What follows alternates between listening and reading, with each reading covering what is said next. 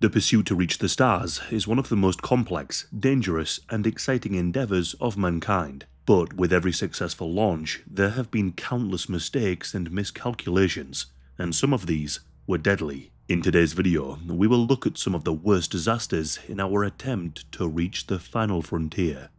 We will start with the Soyuz 11 disaster, the crew of which were the only humans to have died in space. In the early 1970s, the Soviet Union were desperate for a major space triumph. Whilst they had much early success in the space race, like sending up the first satellite and the first man into space, the Americans had landed on the moon.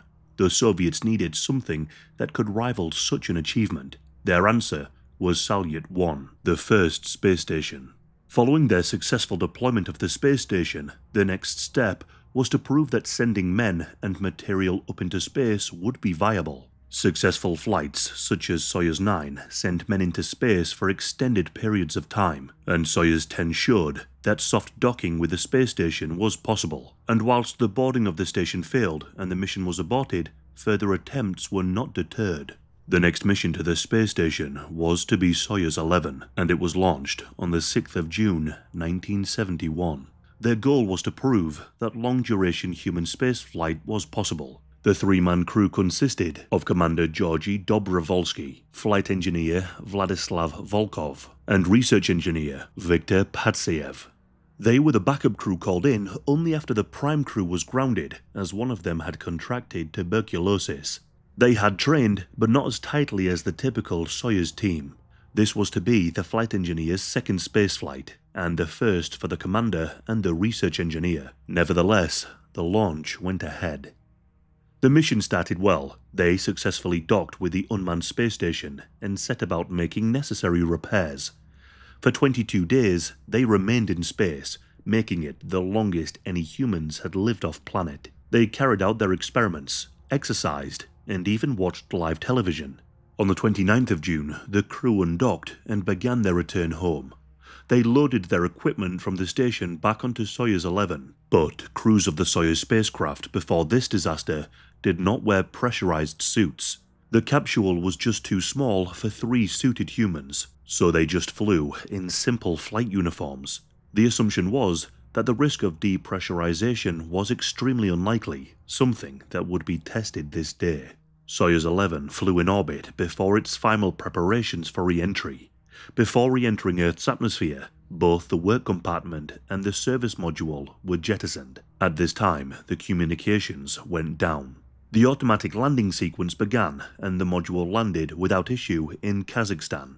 All seemed totally normal. On the outside, there were no signs of damage, but also no sounds of life from within. When ground crews opened Soyuz 11, they found all three crew members inside but every single one of them was dead. According to the report, the state of the crew was as follows. Outwardly, there was no damage whatsoever. On opening the hatch, they found all three men in their couches, motionless, with dark blue patches on their faces and trails of blood from their noses and ears.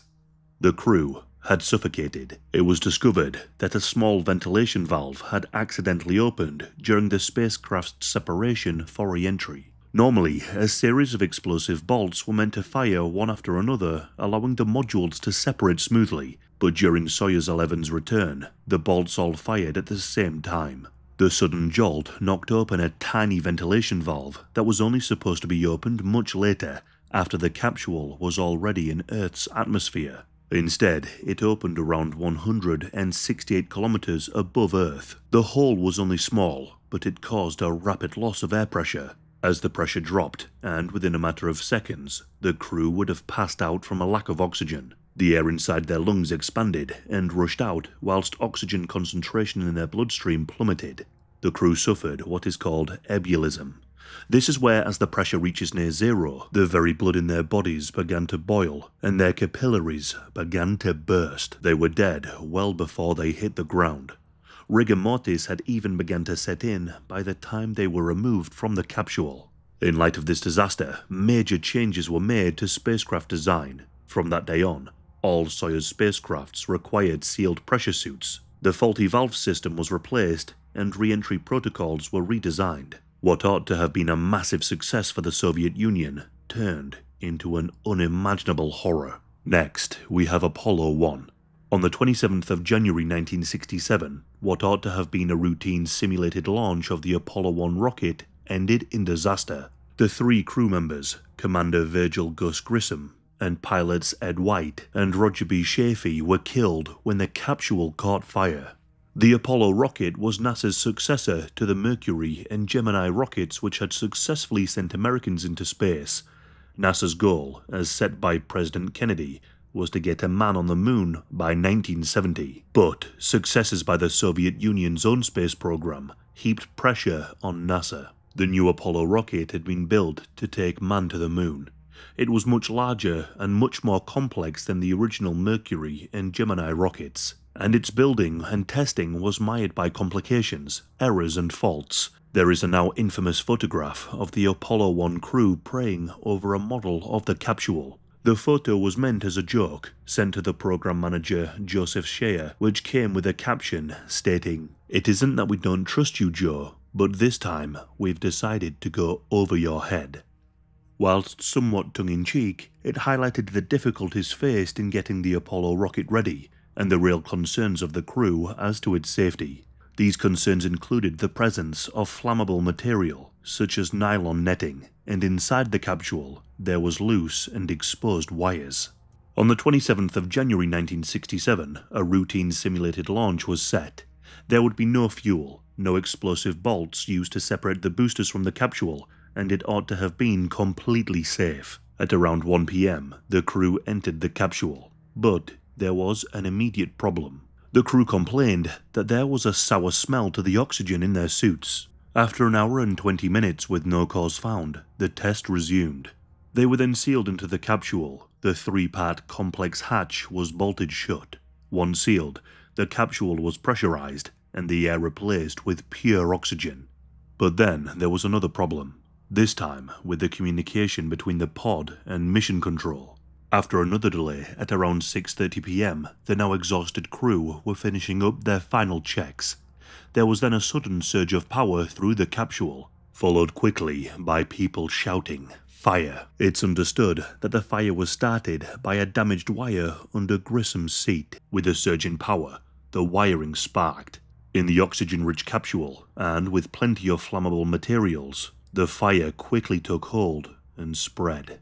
The heat from the fire raised the pressure in the capsule. The crew attempted to open the hatch from within, but it was a long and complex process. In the best of conditions, it could take minutes to open, time that they did not have in a life or death situation. Eventually, the capsule ruptured, fire and gas steaming out. Ground crews attempting to help were pushed back by the heat and the flames. What's more, the masks they had were designed to deal with toxic chemicals and not for smoke, so they proved to be useless. They worked hard on trying to open the hatch, and they eventually did, after five minutes. When they finally got inside, they only found the dead bodies of all three crew members. The removal of the bodies was made even more difficult by the conditions of the capsule, mainly the strands of melted nylon that acted like a glue, cementing the bodies into the interior. The bodies were eventually removed, and the autopsies revealed that the crew had died from smoke inhalation. From this disaster, changes were made, and NASA vowed to not let their deaths be in vain. In July of 1969, Apollo 11 made it to the moon. An Apollo 1 mission patch was brought by the crew of Apollo 11 to the moon's surface. It was left there as a memorial to the crew of Apollo 1. So the crew of Apollo 1 did in some way make it to the moon. Next, we have the Challenger space shuttle. On the 28th of January 1986, the Space Shuttle Challenger sat on its launch pad, covered in frost and icicles. Inside were seven crew members, including Christa McAuliffe, who was to be the first teacher in space. Millions of people were watching the live broadcast, including many children eager to see a teacher reach the stars. Thousands of people lined the beaches. The excitement was palpable. What ought to have been a routine flight for the reliable shuttle program turned into a horror show just seconds into the flight. The 28th of January was a particularly cold day. The night before the launch, a cold wave had left the launch pad covered in ice. Frost covered the shuttle, and in particular affected the O-rings. The Challenger's solid rocket boosters were built in segments sealed by these flexible rubber O-rings, but there were repeated warnings from the manufacturer that these O-rings would fail in cold temperatures, making them too stiff to properly seal the boosters. Engineers who built these boosters were well aware of the poor weather forecasts and requested that NASA delay the launch, but NASA managers, under schedule pressure, overruled them. The launch would proceed despite these very bleak warnings. At 11:38 a.m., the Challenger lifted off. For the first few seconds, everything looked perfect. But onboard cameras captured something horrifying. A small puff of black smoke was escaping from the right booster. This was caused by the failing O-rings, just as had been predicted. A jet of flame was burning through the side of the booster and into the external fuel tank. The shuttle managed to climb into the sky for 73 seconds. All the while, flames burned through the fuel boosters and eventually ignited. The external tank ruptured, tearing Challenger apart in mid-air. The crew cabin separated intact and continued upward before falling back towards the Earth. The terrifying thing is, the crew survived the explosion, or at least some of them did. Three of the emergency air supplies were activated. Their cabin crew remained pressurized, and they could have remained conscious at least for a time.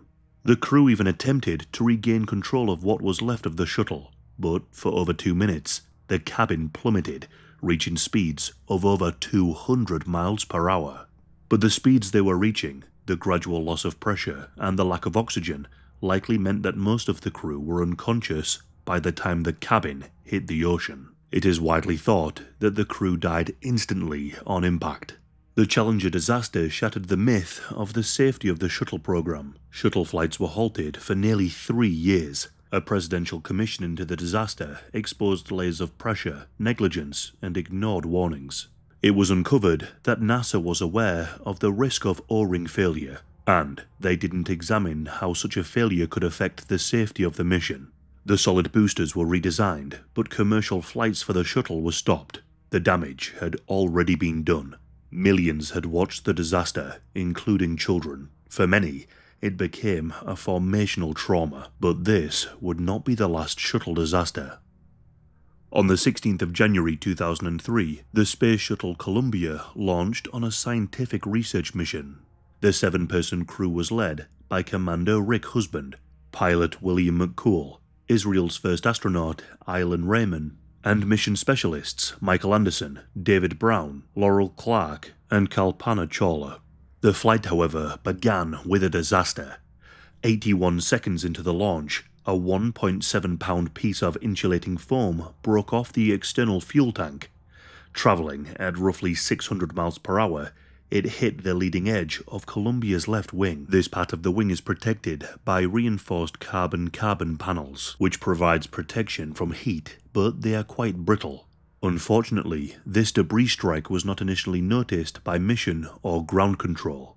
On the second day of the mission, a routine inspection of the flight footage revealed the debris strike. Engineers were worried about the damage, but NASA's program managers dismissed these concerns. When computer models estimated severe damage to the wing, NASA engineers pushed for the use of high-resolution military satellite imaging to assess the damage. As it was foam that had fallen off, and it was believed that a repair in orbit was not possible, the request for imaging was dismissed. Previous incidents of foam falling off had not caused any issues for the shuttles, but this was not the case for Columbia. Had the imaging been used, it would have revealed a 9 by 17 inch hole in the left wing.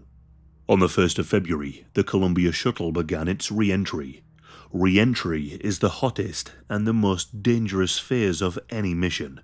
During re-entry, the shuttle travelled at around 17,000 miles per hour and as a result was subjected to extremely high temperatures. The shuttle is designed to use the Earth's atmosphere to slow it down during descent, compressing the atmosphere. The very shape of the shuttle is designed to make most of this aerobraking, but this process causes the air to get incredibly hot as hot as 3000 degrees Fahrenheit. This process causes superheated plasma to form, which can cause devastating damage to the shuttle. but the shuttle is coated in heat resistant materials to ensure the shuttle doesn't break apart. Tragically, the debris strike had weakened part of the heat resistant shield on the Columbia, leaving it vulnerable. As the shuttle began its re entry, the crew had no idea about the damage to the left wing.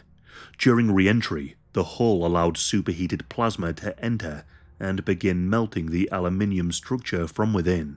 The internal structure melted, began to soften, and fail. The vital shape of the spacecraft and the wings began to deteriorate, causing the shuttle to twist and spin. Attempts were made to correct this, but the shuttle was no longer aerodynamically sound. Inside, the crew would have been violently thrown around, as many of them were not strapped in. The cabin depressurized extremely quickly, meaning the lack of oxygen likely meant an immediate loss of consciousness. This would have been a small mercy for what would happen next. At an altitude of around 200,000 feet, whilst travelling at the speed of Mach 18, the left wing ripped apart this caused the shuttle to be completely out of control, tore a hole in the fuselage, and then led to the destruction of the right wing. The crew inside were killed as the shuttle disintegrated and lethal G-forces were acting upon their unconscious bodies. Debris would be found mainly in eastern Texas, but some pieces were found in Louisiana. Some pieces of debris were even found by members of the public and ended up for sale on eBay. Much like after the Challenger disaster, investigations were made, but in 2004, President Bush announced that the shuttle program would be retired. It would be this final disaster that would spell the end of the Space Shuttle program.